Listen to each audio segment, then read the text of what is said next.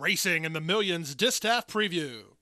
From the outside, My Miss Venezuela bounces Alora alertly. Here's Flutterby moving up now and down to the inside. Moment of Delight was on the offensive early. These three are quickest out of the chute, with Legal Laura racing back in fourth. Then to the inside, it's Holy Well, a stretch of three to Silver Sassy in Saving Time, and the early trailer is Quinn Cat.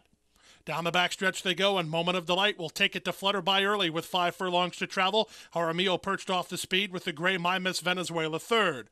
Legal Laura is fourth for Gallardo, a half length in front of on the inside Holywell, followed by the inside running Saving Time, who's two in front of Silver Sassy, and seven to the trailer Quinn Cat. They drilled a quarter, 22 and one. Flutterby swings around the far turn with the lead.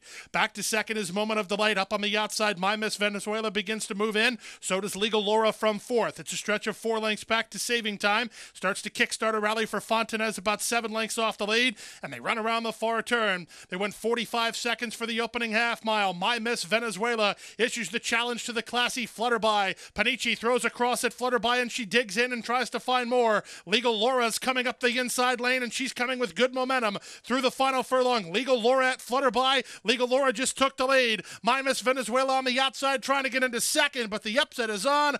Antonio Gallardo and Kathleen O'Connell with legal Laura to win it. My Miss Venezuela second, Flutterby third, close fourth, Moment of Delight or Saving Time at 123 and 2.